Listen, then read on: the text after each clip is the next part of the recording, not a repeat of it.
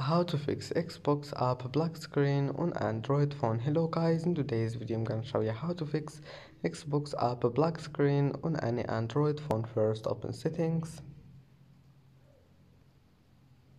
Now scroll down until you find apps. And then click apps again. And here type xbox and click on it.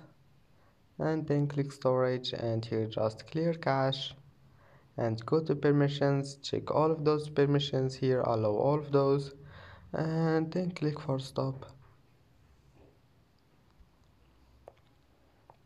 And then go to storage click clean up and then uh, junk files uh, click clean it just clean some space and then just go back.